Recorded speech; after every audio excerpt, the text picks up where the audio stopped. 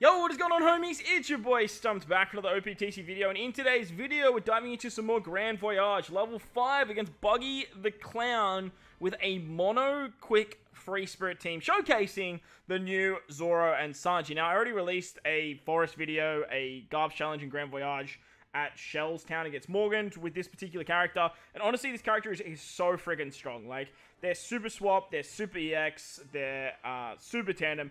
It's all just incredibly busted. And another place they shine very, very heavily in is Grand Voyage against Buggy. Now, another character we got recently is the free-to-play PKA Luffy. So this is kind of like a dual showcase for both of them, as you do need to bring a Mono Quick, Mono Free Spirit, and a Luffy on the team to get this done. So that's the team, those are the supports. Let's dive on in. Now, the Luffy's very, very good for this particular fight because he has a Sailor ability that removes one turn of attack down, as well as removing uh, Special Bind, which means we can actually replace the Sugo Fest exclusive Boa Hancock on this particular team that would stereotypically remove uh, Special Bind and the attack down because this Luffy, he's going to actually reduce that. Now, every single turn, you can get access to this incredibly powerful Super Tandem ability, which Zoro and Sanji provide. On top of that, you can also get a 1.3 times attack and orb boost, which is very, very handy. Now, at the start of the quest, if you bring a quick Free Spirit team, you are going to get a bunch of super swap cooldowns as well as uh, cooldowns for your entire team, and you can easily just tear your way through these stages. You can actually stall one turn before getting to the final stage if you guys need to, and a good place to do that is on the next stage against the Lion guy, because on stage 3 against Cabaji, he actually binds your uh, healing, and that can be a little bit problematic as you do want to be at a nice chunkier HP threshold before going into the final stage, but you will lose a lot of your HP, so it doesn't really matter all that much.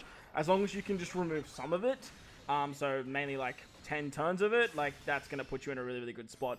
On the stage with the lion guy, I can't remember his name, um, but basically he is going to slot bind your captain and your bottom left unit. So Luffy again being very good here. He can get around slot bind with his limit break ability, and then with Brook, he also gets around that too. Brook was kind of made for this, and then Law made it just like insanely easy. So we are running the combination captains of these two units, and then putting Zoro Sanji underneath Law means that you can give a tandem orb to both Law and Luffy every single turn, which are both part of his Super Tandem. On top of that, we're using the Rare Recruit Robin, who's also part of the Super Tandem, so you can do some really, really nice stuff there. And as you can see, you can also use Law's Super Tandem if you do find a friend Captain Law, which is very, very handy for extra damage output as well. So you have access to two different Super Tandems with uh, two very good characters. And with Zoro Sanji giving you that tandem orb every single turn, it's very, very useful. On the final stage against Buggy, he's going to do that 95% HP cut. The lackeys in the back, they're at 1 HP and you can't kill them. You're going to get 5 turns of Special Bind, 5 turns of Bind, and then like a whole bunch of Despair as well. Uh, I actually believe it's 6 turns of Now that I'm looking at it. But with the Koala support on Sabo and Ace, as well as the Valentine's Nami support on Brook, you can actually get around all of this very nicely thanks to the Sabo Ace special. Make sure you use Brook first because you can't rotate orbs here.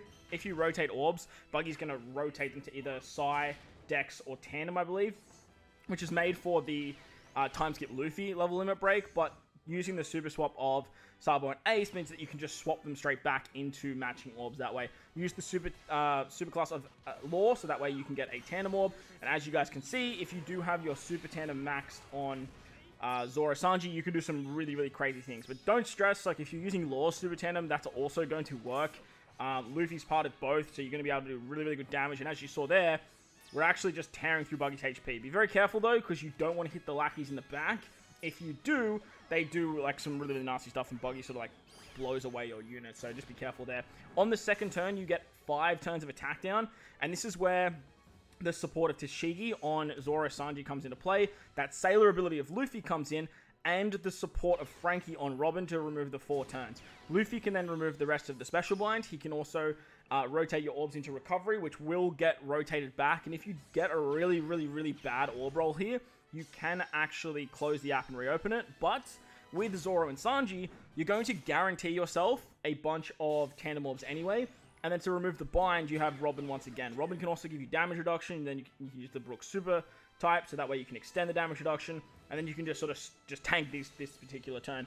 Again, you are going to do so much damage here, so be very, very careful with your taps. As you can see there, I purposely did a miss, so that way I can judge how much more damage I needed, so I could take out Buggy.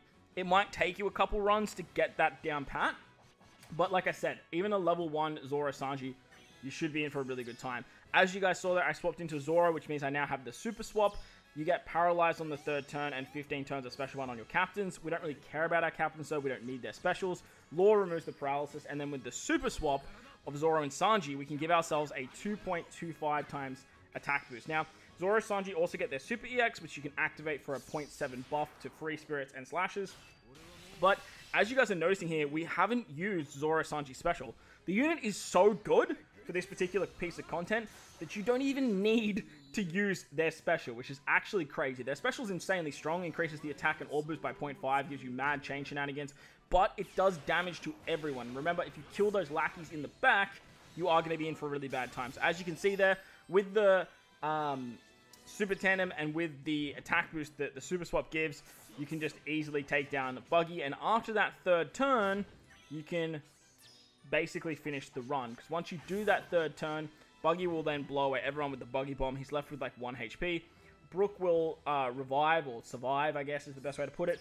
And then you can just use this special just to sort of finish off the content. You don't have to use the special though, like I just did it for the meme. And as you can see, you can take down Buggy very, very nicely. But that's going to wrap up the video. I hope you guys enjoyed this one. The new PK Luffy, very, very good for Grand Voyage. And obviously, Zoro Sanji, great for not only Shells Town, but is also very good over here at Orange Town against Buggy. But if you enjoyed the video, belt the like button, hit the subscribe button, do all that good stuff. Most importantly, wherever you guys are in this beautiful world, please remember to enjoy the rest of your day. As always, homies, thank you all for watching, and I'll catch you all in the next one. Later!